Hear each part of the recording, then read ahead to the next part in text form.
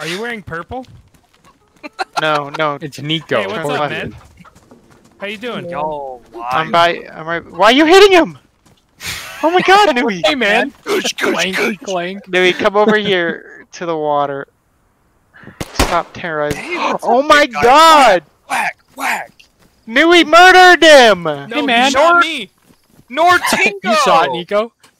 All I He shot saw, first. You all saw I Nico, saw, he was resisting.